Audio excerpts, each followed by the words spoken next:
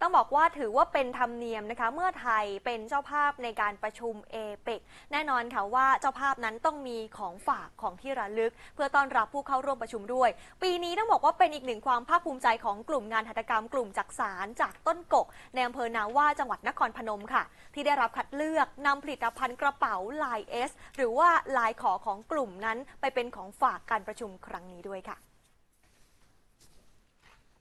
สมาชิกกลุ่มวิสาหกิจชุมชนสากลจักสารตำบลเหล่าพัฒนาอำเภอนาว่าจังหวัดนครพนม ช่วยกันเร่งผลิตกระเป๋าจากเสือกก เพื่อส่งให้กับลูกค้าที่สั่งจองเข้ามาไม่น้อยกว่า 1,000 ใบคำสั่งซื้อที่เพิ่มขึ้นเนื่องจากว่าผลิตภัณฑ์ของกลุ่ม ได้รับคัดเลือกให้ผลิตกระเป๋าจากเสือกก 120 ใบ เพื่อใช้เป็นของที่ระลึกสำหรับผู้นำจาก 21 ประเทศ ที่มีการเข้าร่วมประชุมเอเปกที่รัฐบาลไทยนั้นเป็นเจ้าภาพ จึงทำให้สินค้าหัตถกรรมบ้านเหล่าพัฒนาได้รับความนิยมมากยิ่งขึ้นด้วย การทอเสือกกของที่นี่ค่ะ ต้องบอกว่าเป็นภูมิปัญญาท้องถิ่น ผู้ทอนั้นมีความชำนาญและความประณีตในการถักทอ โดยเฉพาะการพันเกลียวเส้นกก เพื่อให้เกิดความเหนียวแน่น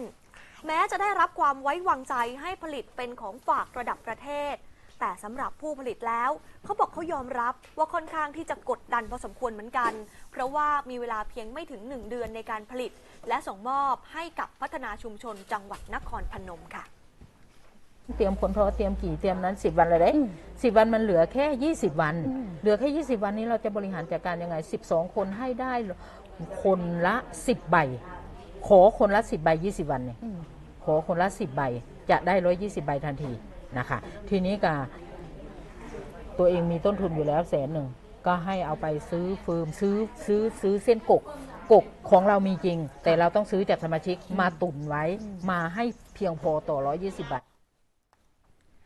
สำหรับกระเป๋าจักสารจากต้นกกลายเอส หรือว่าลายขอเป็นลายพระราชทานค่ะ จากสมเด็จพระเจ้าลูกเธอเจ้าฟ้าสิริวัณวรีนารีรัตนราชกัญญา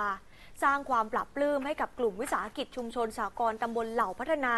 จนกลายเป็นลวดลายที่เป็นอักษรของกลุ่ม พร้อมกับมีการตั้งเป้านะคะ จะออกแบบ และก็พัฒนาผลิตภัณฑ์ให้หลากหลาย เพื่อตอบโจทย์กับกลุ่มลูกค้าใน 3 ช่วงวัย และยกระดับสินค้าหัตถกรรมบ้านเหล่าพัฒนาให้เป็นที่รู้จักสำหรับนักท่องเที่ยวด้วยค่ะคนตลอนจำหน่ายเพราะว่าสูงอายุแล้วอืมเราอยากให้คนมาที่บ้านอืมมาเที่ยว มาซื้อค่ะมาช็อปอืมมาดูคนชุมชนเหล่าพัฒนา ว่าเขาพร้อม ที่จะต้อนรับนักท่องเที่ยว ที่จะพร้อมจะทำผลิตภัณฑ์เพื่อจำหน่าย เพื่อให้พวกท่านท่านท่านท่านมาซื้อที่นี่อืมความคิดเป้าหมายที่แม่คิดมานานแล้วค่ะ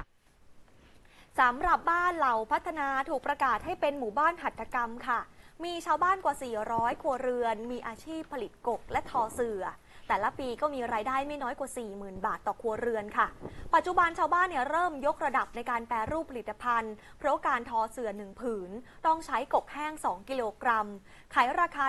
180 บาท แต่ถ้าหากแปรรูปเป็นกระเป๋าลายเอสใช้เส้นกกเท่ากัน แต่ผลิตกระเป๋าได้ 4 ใบราคาถึงใบละ 1,500 บาท ต้องบอกคุณผู้ชมแบบนี้ว่าที่หมู่บ้านแห่งนี้น่ารักมาก เขามีพื้นที่กลางหมู่บ้านอืมเป็นหนองน้ำสาธารณะเนี่ย 200 ไร่ ตรง 200 ไร่ตรงนี้เขาจัดแบ่งให้ชาวบ้านค่ะ ครอบครัวละหนึ่งงานอะเอาไปปลูกต้นกกกันเลย ชาวบ้านก็ปลูกต้นกกกันเลย ความจริงแล้วฤดูการปลูกเนี่ยเขาบอกมาประมาณสักเดือนพฤศจิกายนอืมจะมีการไถแปลไถดิน เสร็จแล้วก็มีการปลูกต้นกกมีนาคมเนี่ยตัดได้ ต้นกรกเนี่ยปลูกหนึ่งครั้งนะคะ 15 วันตัดได้ครั้งหนึ่งอืม ปลูกครั้งหนึ่งเนี่ยอยู่ได้ 3 ปี ชาวบ้านบอกตอนแรกอะ่ะมีพื้นที่เนี่ยตรงนี้เนี่ยปลูกต้นกกสร้างรายได้ 3,000 บาทนะ จากนั้นเอาไปแปรรูป เพิ่มมูลค่าค่ะเป็น 10,000 บาท เมื่อคืนนี้ตอนสองทุ่มดิฉันโทรศัพท์ไปเลยค่ะ ครับ จะขอซื้อกระเป๋า เป็นยังไงครับ เขาบอกว่าตอนนี้ซื้อได้เลยนะคะ ทุกทุกท่านค่ะ แต่ต้องรอคิวหรือเปล่าครับ ไม่ต้องรอค่ะ ตอนนี้มีสต็อกอยู่ 20 ใบซื้อได้เลยอืม นะโทรศัพท์ไปซื้อกันหน่อยชาวบ้านบอกดีใจมากพอเห็นว่าหลายสื่อมีการออกข่าวแหมรู้สึกว่ามีกำลังใจในการผลิตกระเป๋าเพิ่มเลยเนี่ยค่ะ คุณธิดารัตน์พูดแบบนี้ตอนนี้เหลือ 18 17 16 15 ใบแล้วเนี่ยฮะอ๋อตอนนี้ยิ่งมีอยู่ 20 ใบไปซื้อกันหน่อยนะคะค่ะครับอ่า จากต้นกกที่หลายชุมชนอาจจะมองว่าเป็นวัชพืชใช่ไหมครับ แต่ว่าที่นี่เนี่ยสามารถนำมาสร้างรายได้ได้นะครับ ก็เป็นอีกหนึ่งวิธีในการสร้างรายได้ให้กับชุมชนด้วยนะครับ